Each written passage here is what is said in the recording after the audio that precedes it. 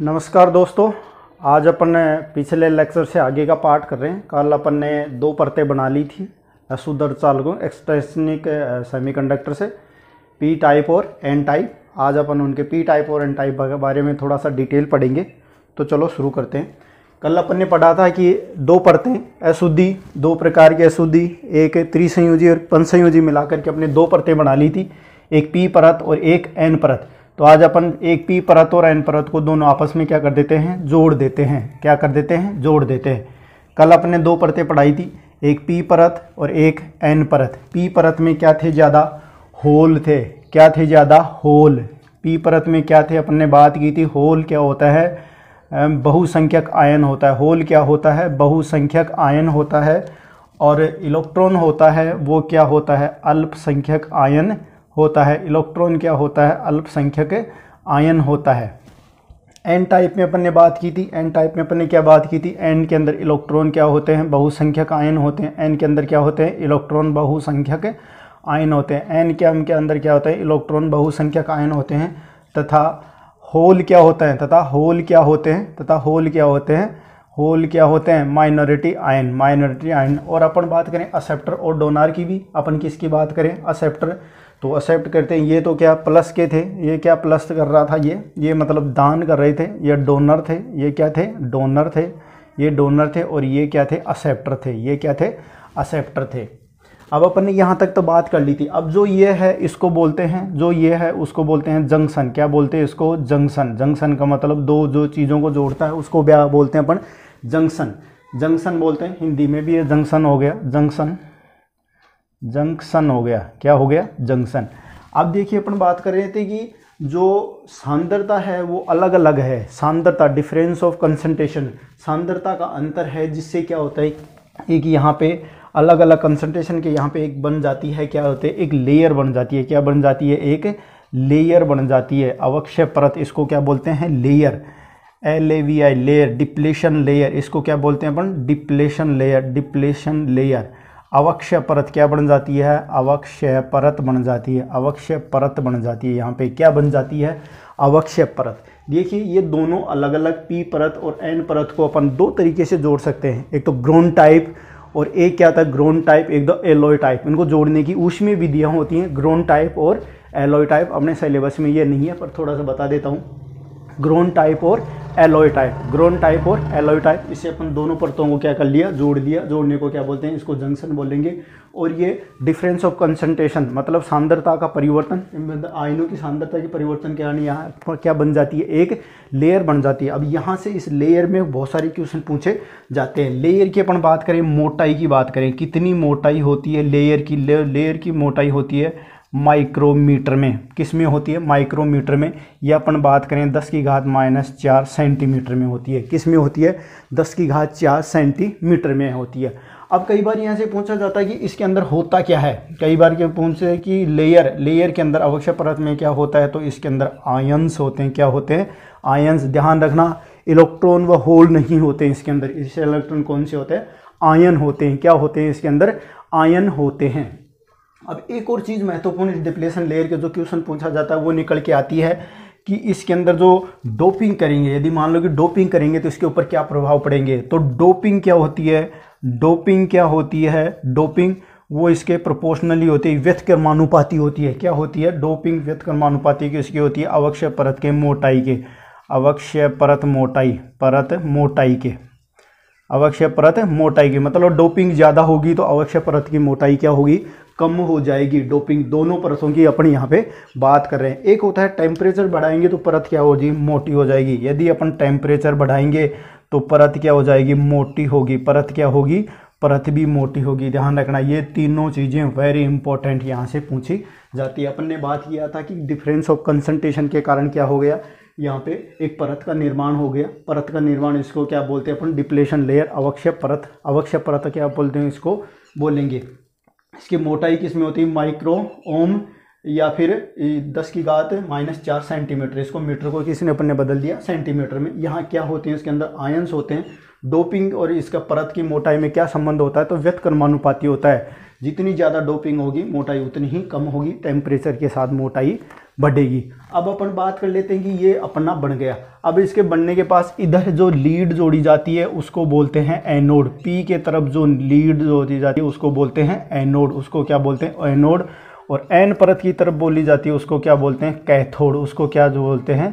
Cathode lead बोलते हैं। उसको क्या बोलते हैं? कैथोड लीड बोलते हैं। देखिए तो अपन ने बात कर ली थी पी परत और एन परत को जोड़ लिया एलोई विधि या ग्रोन विधि के द्वारा इनको जोड़ लिया। और ये कंसंट्रेशन ऑफ़ डिफरेंस मतलब आयनों की सांद्रता परिवर्तन के कारण यहाँ क्या बन गई? एक लेयर बन गई। अपन ने पहले ही बात किया था, इसके अंदर होल ज़्यादा होंगे, इसके अंदर क्या होंगे? पी परत में के अंदर क्या होंगे? होल होल क्या होंगे? ज़्यादा किससे? इलेक्ट्रॉन से।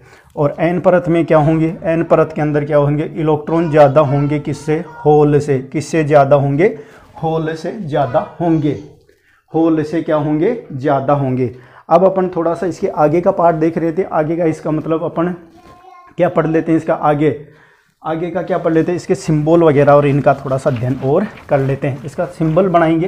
इसका सिंबल कैसा बनना प्रतीक कैसा बनता है? डायोड का। डायोड का प्रतीक कैसा बनता है? अपन किसकी बात करें? डायोड के प्रतीक की बात करेंगे यहाँ पे। डायोड का प्रतीक देखो, ये बताओ। दोनों परतों को जोड़ करके प्रतीक ऐसा पाया जाता है। ऐसा मिलता है डायोड का प्रतीक ऐसा मिलता है। ये कैथोड हो गया।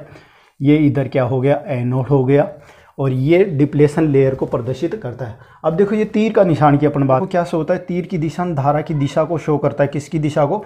धारा की दिशा को शो करता है। धारा की दिशा, डायरेक्शन ऑफ़ द करंट को। और अपन बात करेंगे कि ये बार की, बार क्या होता है? ये रिवर्स ब्लॉकिंग करंट को रोकता है। रिवर्स करंट को ब्लॉक करता है। Reverse, R E V E R S reverse current को ब्लॉक करता है। करंट को क्या बोलता है?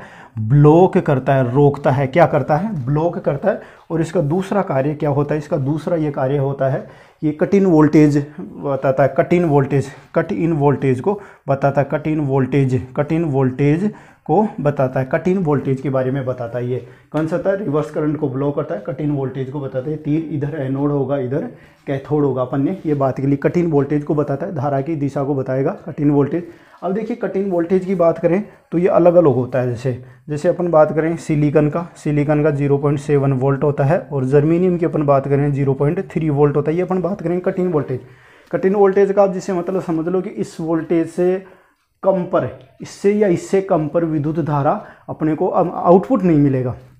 विद्युत धारा मिल, नहीं मिलेगी आउटपुट नहीं मिलेगा अपने को। ये बात समझ में आ रही है? विद्युत धारा में नहीं मिलेगी आउटपुट नहीं मिलेगा। ये कठिन वोल्टेज हो जाता है, ये सिंबल हो जाता है। जनरली वाई के क्वेश्चन होते हैं कि ये बार क्या शो करता है, ये धारा दिशा मतलब दूसरी तरीके से कहें अपन डायरेक्ट रिज़ल्ट के बारे में कि डायोड फॉरवर्ड वायस में ही काम करता है। मतलब अग्र दिशा में ही काम करता है, पश्चिम दिशा में काम नहीं करता। अग्र दिशा में काम करने का मतलब होता है, केवल आगे की तरफ़ ही धारा बहती है, यूँ यूँ ही धारा बहती है, पीछे की तरफ़ धारा नहीं बहती है। अब अपन बात कर लेंगे इसकी परिभाषा की और पहचान की। हाँ पहचान अपन देख लेते हैं। जो डायोड अपन यदि पड़ा हुआ हो लैब में तो अपन उसको पहचानेंगे कैसे? देखिए डायोड अपन लैब में पहचाने होंगे तो एक डायोड ऐसे गोल गोल टाइप में होता है, और भी कई इसके डायरेक्शन होते हैं, पर जनरली यही माना जाता है। जनरली क्या माना जाता है? ये एनोड मानो और ये कैथोड मानो। तो जो होता है कैथोड कैथोड के पास एक यूँ पट्टी बनाई जाती है। क्या बनाई जाती है? पट्टी, सिल्वर पट्टी। क्या होती है? सिल्वर पट्टी। सिल्वर मार्क होता है यहाँ पे, सिल्वर मार्क होता है। इसी से अपन पहचानेंगे कि ये क्या होता है? कैथोड होता है। अब अपन बात करें परिभाषा की तो ये क्या होता है? डायोड एक इलेक्ट्रॉनिक युक्ति होती है। Electronic P N junction, diode क्या होता है? पी एन जंक्शन होता है। इलेक्ट्रॉनिक पी एन जंक्शन होता है। डायोड क्या होता है? डायोड एक पी एन इलेक्ट्रॉनिक जंक्शन होता है, जो सेमीकंडक्टर से बना होता है। किससे बना होता है? सेमीकंडक्टर से बना हुआ होता है। डायोड देखिए, परिभाषा सुन लीजिए। डायोड एक पी एन जंक्शन अर्धचालकों से बना हुआ पी एन जंक्शन, डायोड एक पी एन जंक्शन। इसको क्या बोले अपन? डायोड। क्या बोलेंगे ये? Diode D I O D diode. Diode, ये क्या बन गया? डायोड का निर्माण किससे बनता है? डायोड पी एन जंक्शन को ये अपन क्या कहेंगे? डायोड कह देंगे। पी एन जंक्शन को ये अपन क्या कह देंगे? डायोड कहते हैं यहाँ पे।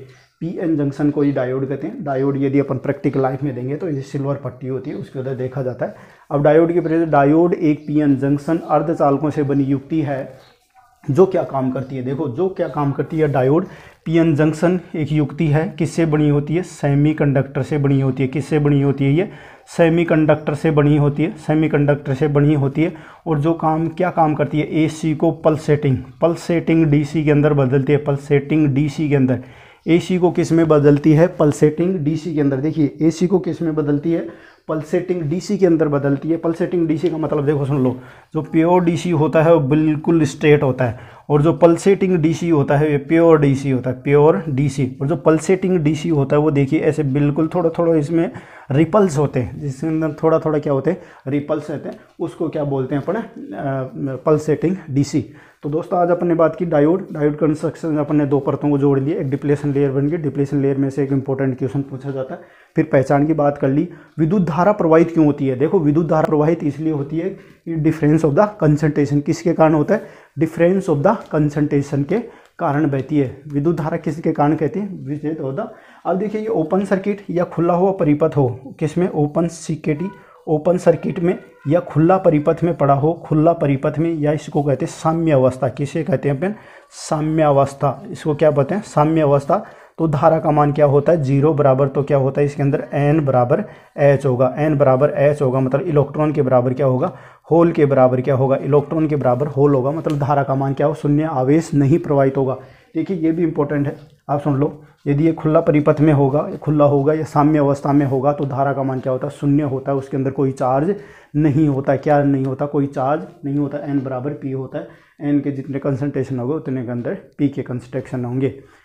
थैंक यू और, दोस्तों, मैं ये उम्मीद करूँगा लाइक कीजिए शेयर कीजिए और सब्सक्राइब कीजिए। धन्यवाद।